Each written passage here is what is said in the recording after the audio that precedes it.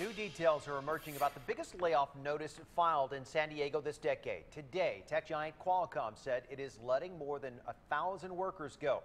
10 News reporter John Horn explains how the pink slips could hurt more than just the workers.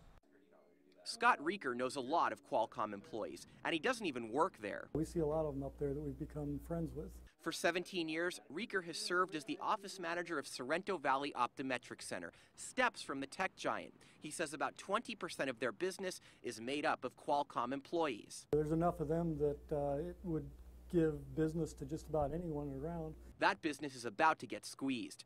Qualcomm just announced that it is cutting more than 1,300 of its San Diego workers. The 10% reduction makes for the largest layoff this decade in the county.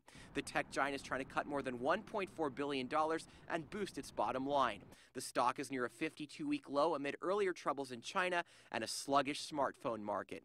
The moves will affect more than just the pink slipped workers. A report by the Regional Economic Development Corporation says every job at Qualcomm supports more than two other jobs in the region.